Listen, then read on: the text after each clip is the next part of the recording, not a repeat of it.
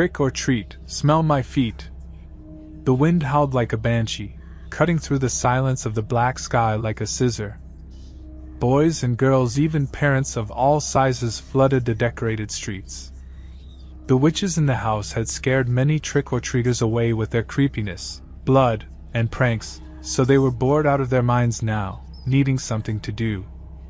All right, let the dash, Amani said, waving a stick in the air and kicking her chunky black wedge heels off. She was forced to the side by an elbow, and a girl who was smiling from ear to ear took her place. Let the meeting begin! Ria exclaimed, her arms in a jumping jack position. Her eyebrows wiggled like worms as she said begin, and she grinned. Ria stumbled forward, tripping on the broomsticks against the wall. Her pointy black hat drooped a bit, like a sad puppy who got scolded. Girl, you gotta be careful, Kylie said, laughing and helping Adrian stand up. It was their fault, Ria said, pointing at the broomsticks and sticking her tongue out at them. Wait, why are we doing this again? Bee's eyebrow cocked at the girls as she said, We saw each other yesterday. Ria's eyes widened, and her hands went to her heart. B, I haven't seen you in five whole years. What are you talking about? she said, a smile appearing on her face. Amani gently smacked Ria on the back of her head. I mean, we planned this, didn't we? Ria rubbed the back of her head with her thumbs. Yeah, I know, B said, flopping onto the sofa like a limp doll. Okay, so the meeting has begun. Now what? Kylie asked, adjusting her witch's cloak as she sat down next to B. She grabbed a white pillow from the couch and cuddled it like a puppy.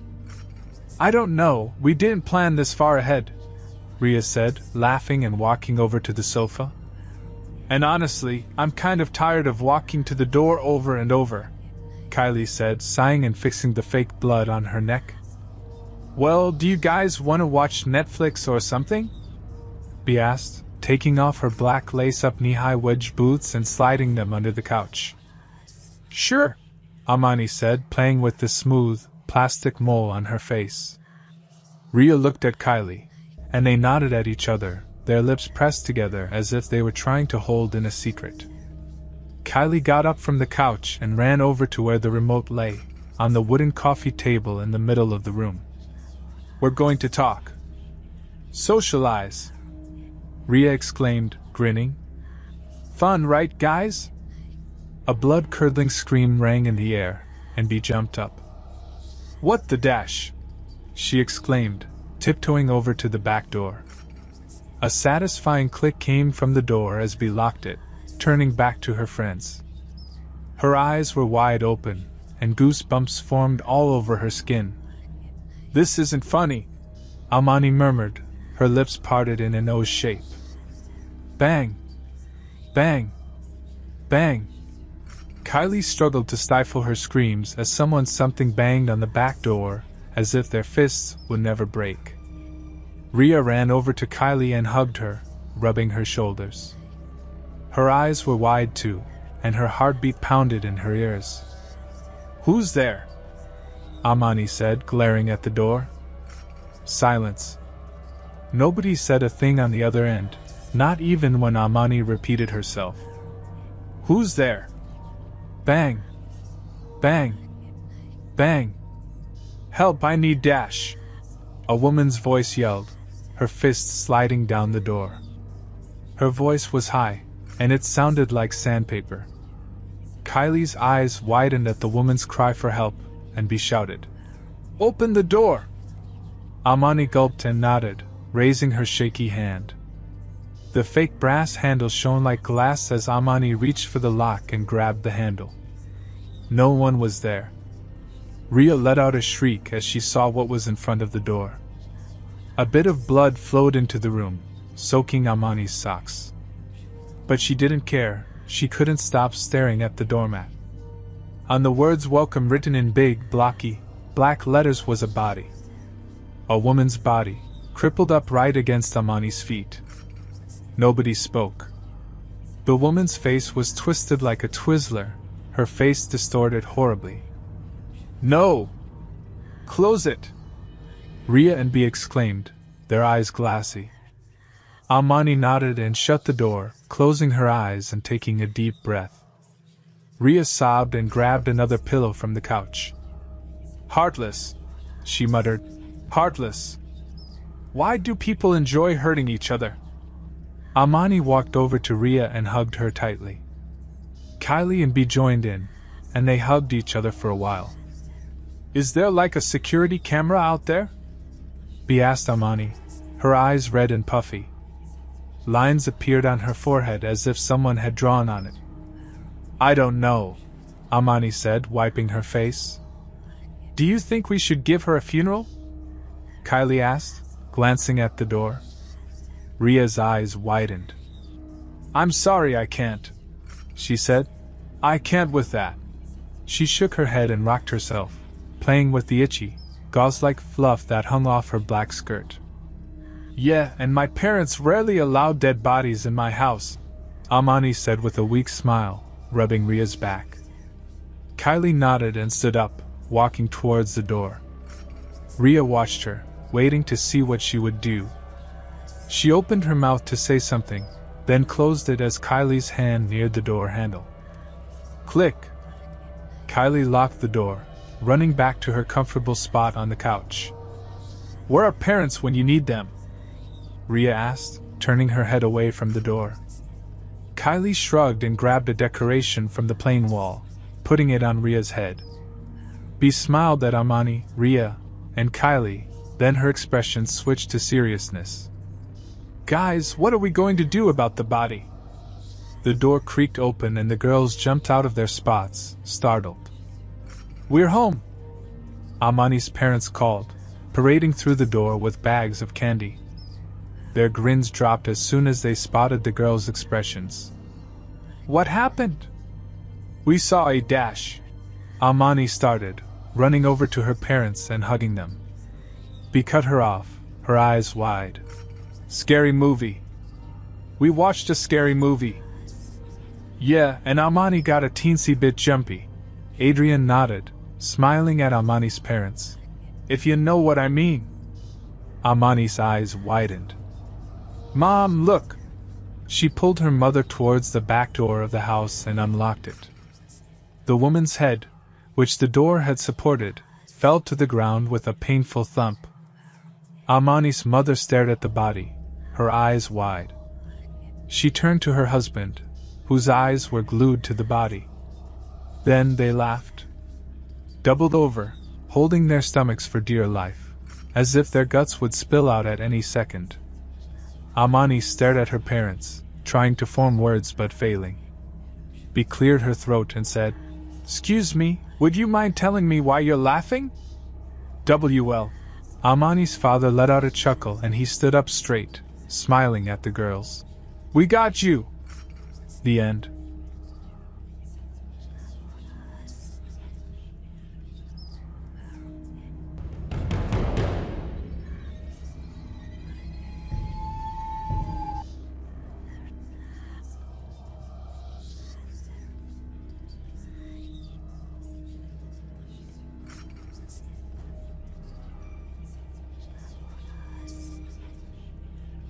Sparkly vampires are douchebags.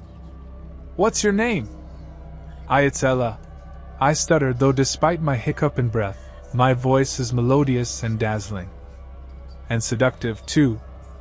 But also virtuous. My fellow peers at the cafeteria table look up at the exact same instant. They blink simultaneously. They all lean forward to cup their chins in their hands.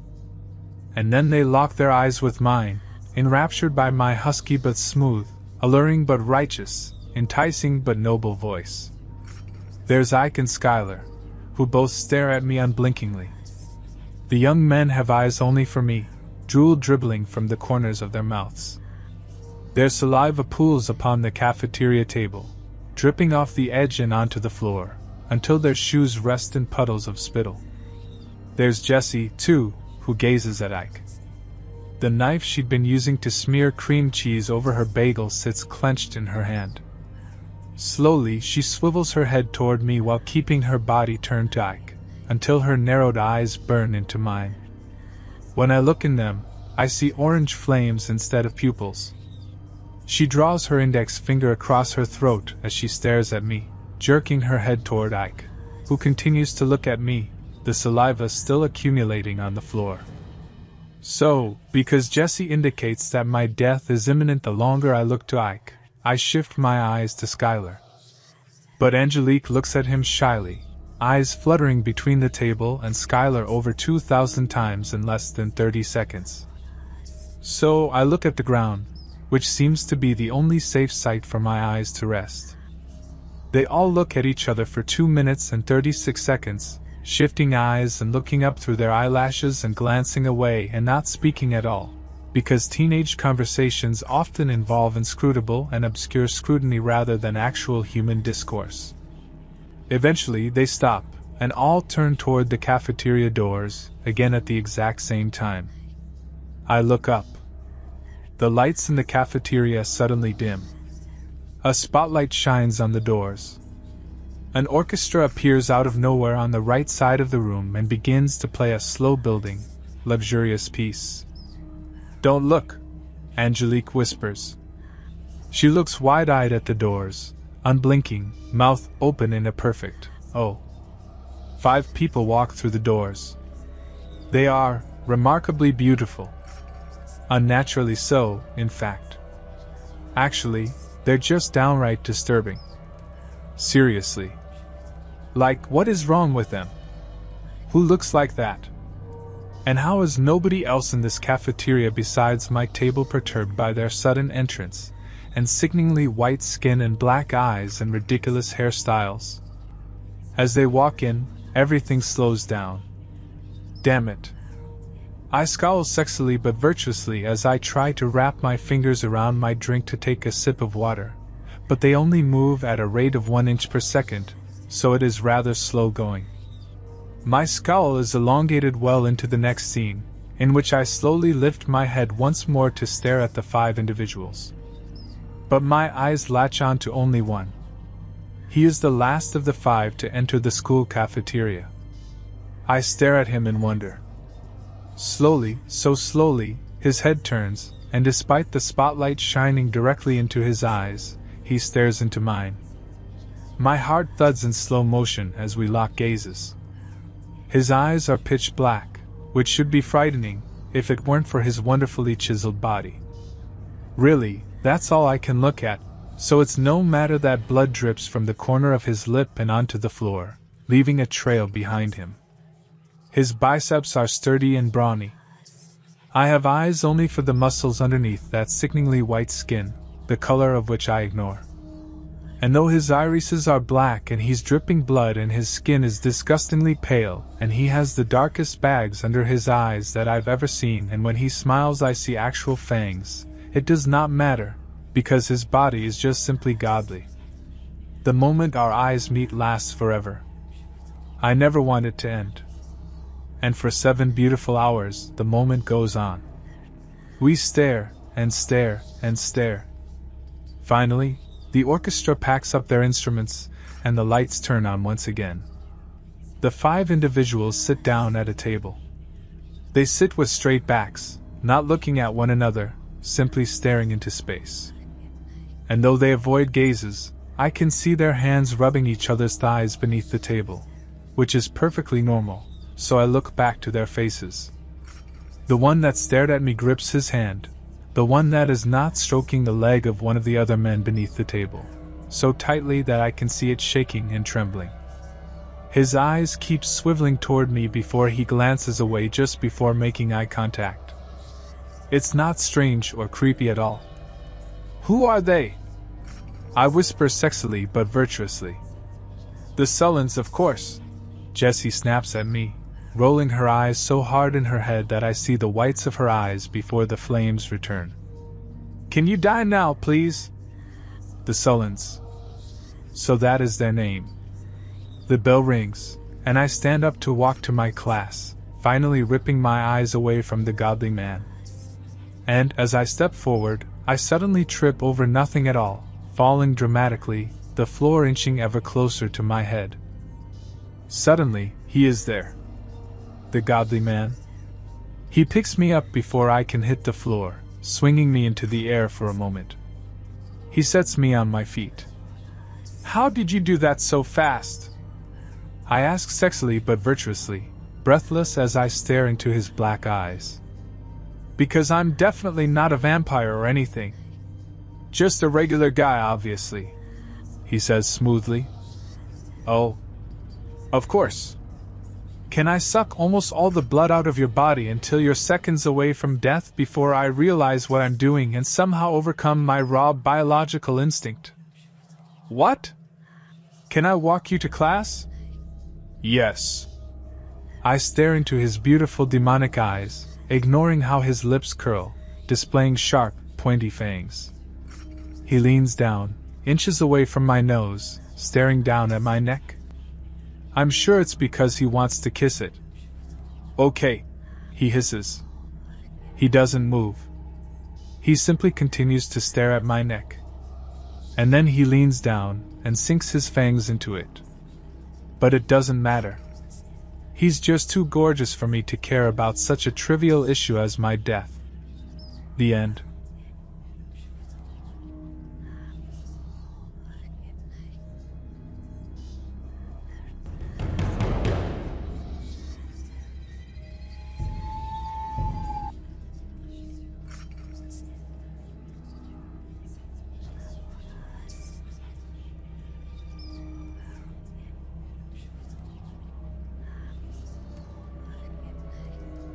Chloe. Where do you think you're going? Daryl asked, annoyed with Chloe. The hell away from you, she replied as she packed her bags. I'm done with your lies. You're a frickin' ass. Look. I'm sorry, he started. You damn right you're sorry. A sorry excuse for a man, Chloe stated. I can't believe it took me this long to figure that out. You can't go now, he offered. And why the hell not? She asked as she folded her favorite black dress and put it in her suitcase. It'll be morning soon, he reminded her. Don't give a shit, she retorted. Where will you go? He asked, realizing that she was serious this time. None of your concern, she stated as she looked around for anything she may have missed. Look, I know you're upset, he started. Just stay the day. And if you're still mad tonight, you can go. I won't try and stop you. You ain't stopping me now, she stated, and then she headed for the door. Daryl stepped in front of her to try and stop her from leaving, and she slammed him against the far wall like a rag doll. Daryl was up quickly, teeth exposed. But Chloe's teeth were bare, and she was ready for a fight as well.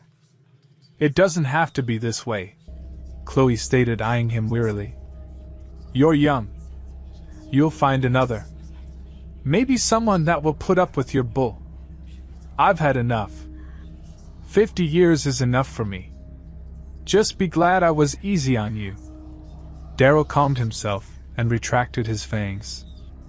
In reality, they were useless against another of his kind. And Chloe had age and experience on him anyway. She was right. She could have snapped his neck just as easily as she had tossed him across the room. She had over 600 years of being a vampire on him. He was a child compared to her, even though he was nearly 200 years old himself. He was turned young and never really grew up. Chloe was over 800 years old and had lived through a lot. She was tougher and meaner than most. When Chloe reached the train station, the sun was only 20 minutes behind her. Counter to what you may have heard or read in books and movies, vampires do not burst into flame and turn to dust in sunlight. Nor does holy water or garlic hurt them. Break their neck or decapitate them, yes, they die for good. She made her purchase and was soon heading west. She had closed her eyes and put a finger on the map. Minnesota, her ticket read. She settled back into her seat and slept the four hours that it took to reach Minneapolis. When Chloe reached the station, she gathered her luggage and bought a map of the state. She walked into the station coffee shop, ordered a large black coffee, and sat down to study the map. She sensed the presence of others, some turned to look around but failed to notice her. She had years of experience and time to hone her senses. An older man appeared, bought a coffee, and before he left, he placed a dime on Chloe's map. She sensed that he was strong. She picked up the dime and saw the name of the city that it had covered Northfield. She searched her memory. Jesse James gang sprang to mind. Why not? She thought. She taxied over to the bus depot and bought a one way to Northfield. She checked into a hotel and then bought a paper. She searched the market for real estate. She got lucky, and within a week, she had found a 100 year old manor that nobody seemed to want. It had sat empty for nearly two years and it needed some work. She bought it and quickly became a suburbanite. To all her neighbors, she was Chloe Alexander, a 35 year old actress. Beautiful beyond compare, who just wanted out of the rat race and to settle down. About a month or so in her new home, there came a knock at her door. It was Erica with a tray of cookies. Excuse the intrusion, she stated. Just thought that you might like some cookies, don't cha know? Thank you, Erica, Chloe stated, and then she smelled the blood. Come on in and I'll get us some coffee. Oh no. I can't stay, Erica offered. I'm right in the middle of making a batch of blood sausage for Thanksgiving. I gotta get to it, you know. What do you get your blood from? Chloe asked. If you don't mind my asking. Not at all, she replied. The butcher shop can get anything you need in this town. You like blood sausage, do you? Yes. It's been a long time since I've had some really good sausage, though, Chloe stated. It was a long time ago in a small village in Norway. Well, you found yourself in a good spot then. Erica stated. Right in the heart of Scandinavian country. Lots of Norwegians and Swedes. I'll bring you some over when it's ready if you like. Well, thank you, Erica, Chloe said. I'd like that. Just as long as it doesn't short you any. Don't cha worry about that, she stated. I always make more than we need, anyways. Okay. I won't keep you any longer. Thanks again for the cookies, Chloe said. You betcha, Erica said and then headed down the walk. Later that afternoon, Chloe made her way into town and stopped at the butcher shop. It was difficult for her to remain calm what with all the fresh, bloody meat in the display cases. She talked with Paul, the owner, and she told him what she needed and when. He assured her that he could get it, and she bought a few fresh roasts and headed out. Another myth about vampires they don't just live off of blood. They do eat regular food and get hungry just like ordinary people. Some time later, Chloe was getting ready for Halloween. It was one of her favorite times of the year. She was a vampire after all, and what better day to be herself and not have to worry about being found out. She had the obligatory decorations out in the front yard and a huge bowl filled with candies ready and waiting as well. That morning she got ready for the day and the subsequent night to follow. She put on a pair of black satin panties, black satin bra, black pantyhose, and her black heavy satin corset. She normally didn't wear heels, but for this night she stepped into her black leather knee high stilettos with 3 inch heels. She reached into her closet and pulled out her black leather dress. She had it custom made by a master tailor in the mid 17th century. It was well constructed and still looked great to this day. It was mid calf in length with three quarter sleeves and deep V neckline. She stepped into it and then laced it shut. She did her hair and makeup and was ready. She drove into town and did some last minute shopping. The residents of the community were very friendly and welcoming. A stark contrast to the big metropolis that she had fled a few short months ago. She stopped by the hardware store and Andy came out to help her. Andy was sweet and very shy around women. Chloe sensed this the first time she met him. She always talked to him and not at him. She hoped that he would come out of his shell a bit more, and he was always polite. Chloe figured him to be about 16, maybe 17 tops, and he had helped her a lot with all the things she needed to fix up her old house. She noticed a few birthday decorations mixed in with the Halloween decorations also. Whose birthday is it? She asked Andy. Mine, he replied. What are you now, 17? She asked as she picked out a few items. 18, he replied as he showed her the better items to get. Legal now, Chloe said. You and your girlfriend going out tonight? I don't have a girlfriend, Andy blushed. I thought I'd go down to the VF, they're having a party for the kids. I think they're showing a horror film later as well. Sounds like fun. I'll be handing out candy, I hope, she offered. Don't expect too many kids, Andy stated. Why's that, Andy? Or should I call you Andrew now that you're a man? she asked. Andy's fine, he replied, still blushing. You bought a haunted house, you know. All the kids are gonna be too scared to walk up to your door. Well, the realtor never told me about that, she stated. Maybe I should put up a bunch of lights so that they don't get scared. That might help, he offered. It don't hurt now that you moved in either. Oh, really? You saying that I liven the place up? She kidded. Sorta, he said and blushed even more. I mean, now that there is someone staying there, the stories about it being haunted should go away. It might take a while though. You may not get too many takers this year. Maybe I should change out of my costume then. Don't need a vampire answering the door at a haunted house, she offered.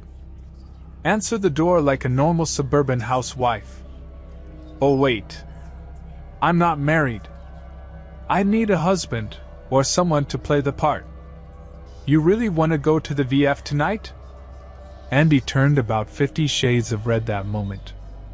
Mom's taking my younger sister and brother, so I should go and help her, he replied. I was kidding, Andy. I didn't mean to embarrass you, she said as they headed for the checkout. You really are sweet and cute. So are you, he muttered as he rang her up. You find everything okay? Pete the owner asked as he walked by. Did Andy get Cha what Cha needed? He sure did, Pete. He's a good worker, Chloe said, and then she walked out. Chloe was beating herself up on the way home. You just got rid of one young guy and now you're looking at another? She thought. Daryl's an idiot, she countered. Andy's sweet. I can help him, and he can sure as hell help me. Go to the bar and find some rebound dick. Don't mess up Andy's life, she thought. Who says I'm gonna mess up his life? She countered again. You turned Daryl and look what happened, she thought. He turned out to be a jerk anyway, she countered. It wouldn't have mattered if he was turned or not. He was and still is a jerk. He'd have just died a long time ago, is all. I don't plan on turning Andy. That's just it. You never plan on turning them, but it happens, she thought. You get too emotionally attached. Even now, you're 876 years old and this boy has got you hot. I'm still a woman and I have needs she countered. I'll limit my time around him so that he doesn't fall under my spell. That night, Chloe had maybe a dozen kids stop by in spite of the fact that she had her yard well lit up to show that it was not a scary house. She made friends with as many neighbors as she could by baking cookies and bars and then passing them out during Thanksgivings and Christmases. Most of the middle aged married couples' wives didn't like her because they assumed that she was trying to steal their men. She just ignored those and concentrated on the ones that wanted to make peace. When she did feed on blood, which was about once a week, it was on fresh animal kills or blood stock that she purchased from the area butcher shops. The residents of her neighborhood didn't realize it, but their lives were much safer since she moved in. Another myth vampires don't just attack humans because they want to. Perhaps in the Middle Ages, when there wasn't any law around, it became quite prevalent. Not so much now with technology. Vampires don't need as much sleep as normal people so they can patrol an area much like a security team could, thereby keeping criminals away from the area. Occasionally, she would sense the presence of others when she was out shopping, but she never sought them out. And those that could, sensed that she was strong and was an elder, so they never stuck around anyway. She always ate healthy and exercised, so as she didn't age as fast as the normal people, they assumed it was because of her healthy ways. She was, for all intents and purposes, the quintessential suburbanite with her backyard barbecues and 4th of July parties that most of her neighbors enjoyed. No one knew that their neighbor was a vampire. The end.